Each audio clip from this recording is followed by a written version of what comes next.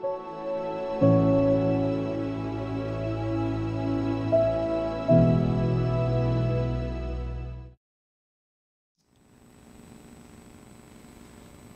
two pillars of religious humanism that we're going to be interacting with is humans are limited and religion is powerful. I'm going to begin with the humans are limited note. Our minds are cozy, comfortable places to live. With our own thoughts for company, we are always right. We have staggeringly powerful mechanisms to prevent us from self correction. We have confirmation bias to help us find those sources that best agree with us.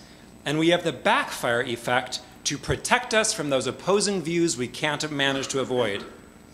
Uh, David McRaney points out that when someone tries to correct you, tries to dilute your misconceptions, it backfires and strengthens those misconceptions instead. Yay, humans. Over time, the backfire effect makes you less skeptical of those things that allow you to continue seeing your beliefs and attitudes as true and proper. Yes, we humans can learn, but mostly we want to learn that we don't need to learn after all. In our heads, everyone agrees with us. That is, until we talk to them. And anyone who disagrees with us, well, that's their problem. As in, they must have a problem if they can't see how right we are. In fact, they're probably stupid, if not malicious. It is our duty to correct them. We should get on Facebook and do just that. And after every debate, we can convince ourselves that we won. The best way to convince us the best, the best ways to get around these limitations is priming and suggestion so we don't know that we're being persuaded. We need checks and balances, um, fear and trembling. And ironically, what we are combating so heroically and diligently is our own misplaced comfort and misleading assurance. That is why we have methods and disciplines, science and scholarship, but even with our best efforts, we still get it wrong, feeding ego and following funding instead of rigorously and responsibly questing truth. But it gets worse. If we humans are limited in the best of circumstances, we are pretty much hopeless in most. Cognitive biases meet religion the mind has probably never met a more powerful cultural force than religion. Can you think of any aspect of human culture that has convinced humans that it's not an aspect of human culture? Just think about that. Religious significance saturates human limitation. If we are religious, nothing can possibly challenge that. Our kids will never leave, surely. If we are non religious, the demise of religion is inevitable and imminent. It will be gone by the time our kids grow up. After all, if we ourselves believe, doesn't everyone? And if we ourselves doubt, doesn't everyone? This is the false consensus effect, or just general myopia and lack of consideration. So, again, my take home message is humans are limited, religion is powerful, religion is thus not going away, so we might as well understand it harness its power and potential. And the Mormon Transhumanism Association pertinent question that ties this presentation into the others is the desperate question. And that is how do we facilitate the continuation of civilization infrastructure until we can get to the singularity? Until we can get to that fundamental transformation. In other words, we are in a race to the death between innovation and cataclysm. So, as a corrective of the limitations that we are so prone to, I am going to provide context. Uh, this is not coincidentally the very context that broke me out of my own Mormon mindset. Uh, I just rewrote Mormonism all through graduate school until I started teaching world religions. And world religions gave me the whole puzzle. And I saw how um, permeated by humanity religion was. And I really love that puzzle, and I've enjoyed engaging with it. So, past, present religion. It's funny, there was a comment, I don't know if the commenters here, but in the Facebook group, that this is a very negative view of religion, but this is pro religion. If anything, it's very sobering around humanity. So, in the past, religion scared us into cooperating, and it worked. I'll unpack that. In the present, religion sucks. I'll nuance that in saying it's actually an outdated cultural technology. Uh, the future is up in the air. As I said, it is a race to the death between innovation and cataclysm. Well, not a race to the death, more a race back to the Stone Age without the fossil fuels to rebuild. Uh, I like the um, Edwards Deming quote It is not necessary to change, survival is not mandatory. If we want to be highly uncomfortable, we don't need to change anything, we can continue. Okay, how to make religion. Uh, what are the ingredients of religion? So we have belief, ritual, community, and transcendent reality. I've said before that religion is the interconnected system of beliefs and rituals uh, in the context of community in referen with reference to transcendent reality. Beliefs, there are explan explanations in myth, taboos, and morality. And then ritual, there are daily ritu rituals that organize our days, years, lives, rites of passage, communal ritual. Uh, religion requires community, and again, it has reference to a transcendent reality. Religion past. Well, why are we religious? Why is religion so pervasive, ubiquitous, in fact? And then where did religion come from? I'm going to be talking about some turning points tribal religion, agricultural re religion, the axial age, and then a conquering we go, or conquering religions, which are the monotheist ones. So, why are we religious? In the beginning, there was not the happy helper God, there were evil spirits. And as best as we can tell, I'm building on the work of Pascal Boyer. Um, religion developed out of an, a need to manage belief in evil spirits. And this is how it worked. There are type 1 false positive and type 2 false negative errors. And this is why believing in evil spirits was evolutionarily advantageous and increased our chance to survive. I'll explain.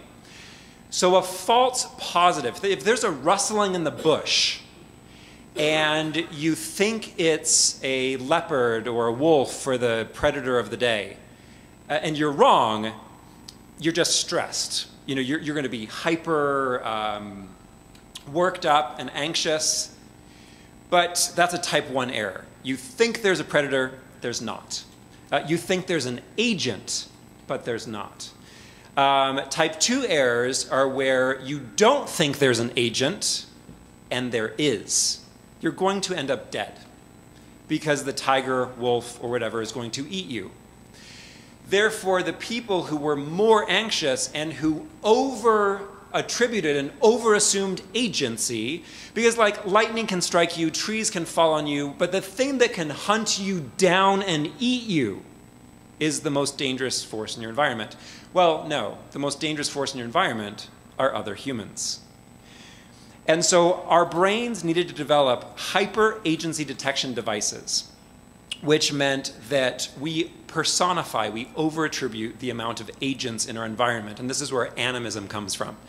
Uh, animism is the worldview that believes everything has a spirit, everything has feelings.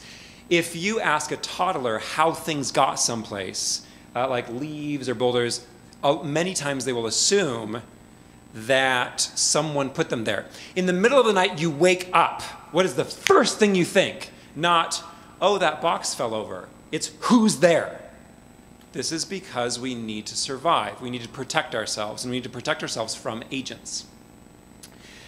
Um, we also have social mirroring. Um, when other humans approach us, when other agents approach us, it is essential to our survival, well-being, status, the next, you know, a Tinder date, whether we can accurately read their intentions. Are they aggressive? Are they interested? It's really important whether you know. Uh, Daniel Dennett has, you know, he answered a question that I never even thought to ask. He said, Where did religion evolve from? And he proposed that religion is domesticated superstition. So, what happened was superstition required ritual to manage that superstition. So individuals developed uh, rituals, whether they're spells, dances, or so forth, to protect yourself against the evil spirits. And this ritual became shared ritual. So when a predator comes to the tribal camp, everyone cooperates and gets together to protect the tribe from the predator. But how often does that happen? But when they're evil spirits, they are always dangerous. And so, this shared ritual as protection against probably false dangers became a uniquely powerful cultural technology to facilitate cooperation, identity, and all sorts of other goods that religion provides. Uh, religion also provided what I'm calling ritual health insurance. This is the placebo effect. If you believed in the rituals, you had real beneficial outcomes because of the way that our physiology, psychology, and culture all have co evolved. And then, as a bonus, anyone who doesn't believe like you, you kick them out and they die. That's really great. You know, and so religion has this unique power to facilitate cooperation unity, and again, it helps if you kill everyone who disagrees with you. Uh, but then this is kind of how it played out. You have harvest festivals, you have the, the um, commemoration of death as the agriculture dies, you have the rebirth, the life in the spring. And you will see those organizations in pretty much all religions. If you want to blow a child, well, it works better with teenagers and above, ask someone around Easter, which it is right now, what eggs and bunnies have to do with the resurrection of Jesus? Well, they're fertility symbols. Because the spring festival celebrates sex, basically, you know, reproduction and the return of life. And of course, the resurrection of Jesus and Jesus coming back to life, that works kind of, but there's definitely dissonance there. And then we have the axial age. I propose that all current religious technologies are axial age technologies. Mormonism is a very interesting fan fiction, science fiction update of Christianity, Masonry, and so forth. Uh, and so it has a lot of robustness uh, that traditional Christianity does not. Um, but we're all working with the basic structure of axial age uh, technologies. This is basically 700s to 300s BCE about. Uh, it's really fascinating. Um, we don't really know why, but during this couple centuries, we have Confucianism, Buddhism, Taoism, Zoroastrianism, Judaism, Greek philosophy. There are all of these developments that transformed uh, culture. And then we have the religious conquerors that changed the entire face of world civilizations. We have the Aryans that uh, invaded the Indus Valley uh, civilization. Um, Buddhists were conquering to a degree. Uh, Zoroastrians that conquered nicely. Um, and then, of course, we have the Greek, Romans, and finally Christianity and Islam that led us into the monotheistic uh, age, well, or at least monotheistic Western uh, civilization. So this is what's shaped the past. So religion present, where are we? Who is religious? Where is religion increasing? Where is religion decreasing? Why are people religious? Uh, and I'll, again, I'll talk about why religion sucks, but no religion sucks harder. And I really did debate whether I could say sucks harder in a uh, conference like this. We need to be aware and cautious of the fallacy of assuming that everyone agrees with us. And as I, as I have taught college, I have definitely see this, seen this phenomenon. Young Americans will discount the power of religion. It's not that important to them unless it is. Again, we just, if, if we're religious, we think religion is going to be around forever. If we're not religious, we wonder why anyone possibly would be. Let's look at what actually is going on in the world right now. Yes, the nones, N O N E S, the non believing, sure, it's increasing. But even in, and there are secular countries, socialism really helps. It turns out if you take care of humans, they don't need to rely on um, magical helpers so much. Um, so, who's religious? Around um, 85 plus percent of people in the world are still are still religious.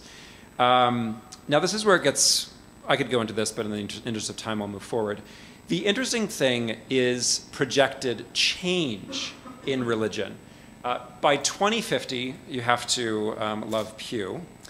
Uh, the religious profile is going to change, and it will. The world will continue to be religious in 2050 yes, it's possible that we could hit these tipping points and things could completely change in un unanticipated ways. Uh, again, technology is the biggest question mark.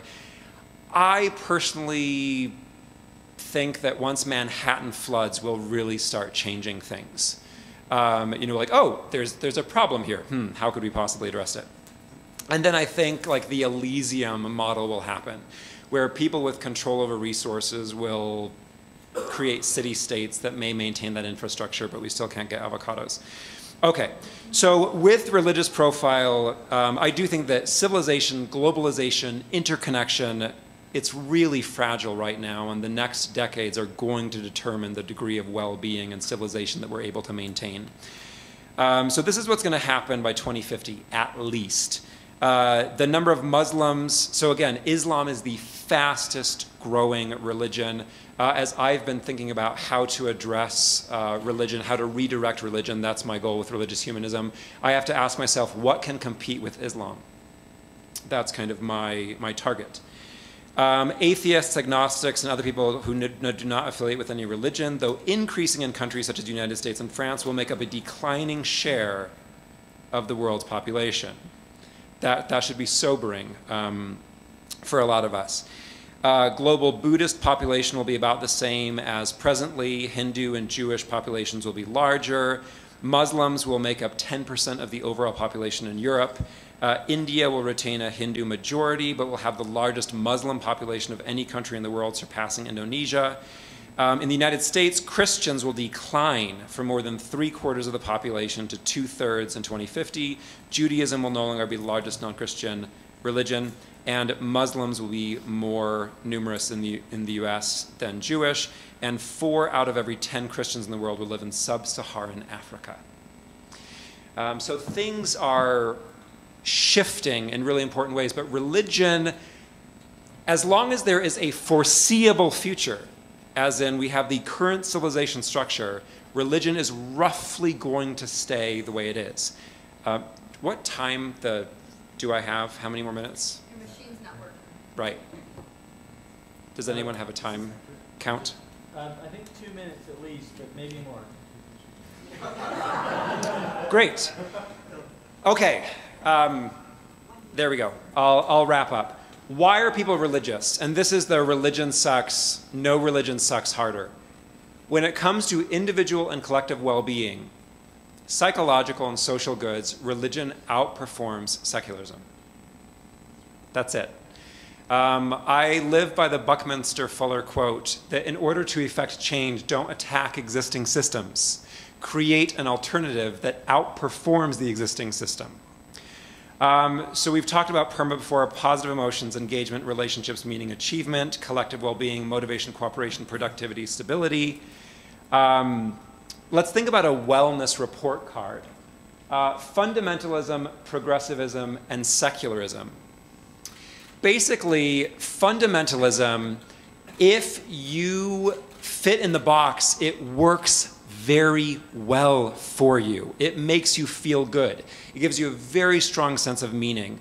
Um, if I can have a bit of salty language, liberals have really good idea, conservatives get shit done. And usually conservatives get distressing things done, like things that are distressing to the liberals. Uh, but again, we have to take seriously the power that fundamentalist conservative social structures have. I propose, and I think this is why the MTA is so robust. It's interesting, like why other religious, you know, transhumanist groups haven't succeeded as much.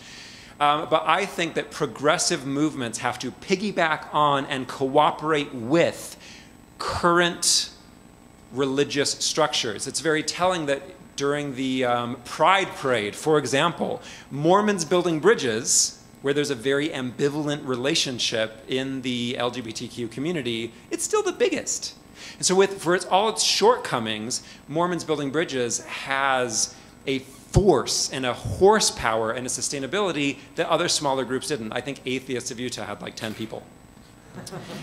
um, so, awareness, motivation, and change, I'll wrap up in just a minute.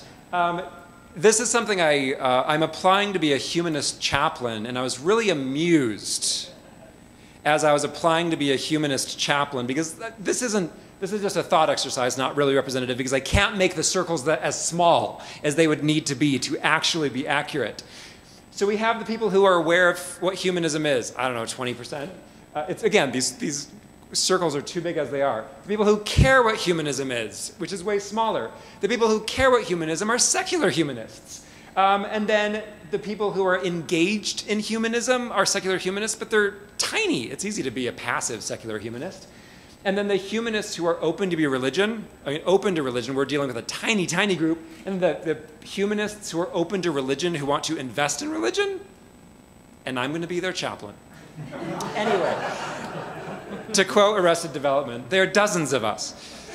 Uh, so, the future of religion again, to finish up, uh, I think that current religions will continue to move full steam ahead.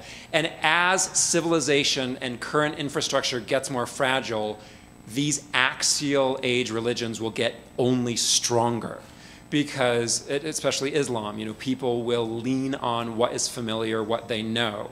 The future of near religions, by near religions I mean things like popular culture, um, sports, the military, government, uh, advertising, uh, consumerism, these are not really great alternatives. You know, we have secularized badly.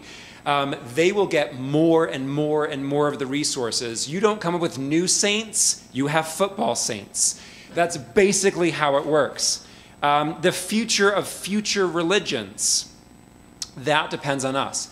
But again, I think that one area where the MTA is really succeeding is progressive movements, including innovative, creative new religions, are disproportionately ethical, disproportionately impactful. So, for the dozens and dozens of us, you know, we do a lot of good, but we're never going to get that critical mass. We're never going to get that tipping point. We're never going to be able to compete with the existing religion until we can get them on our team and come up with something better. Thank you.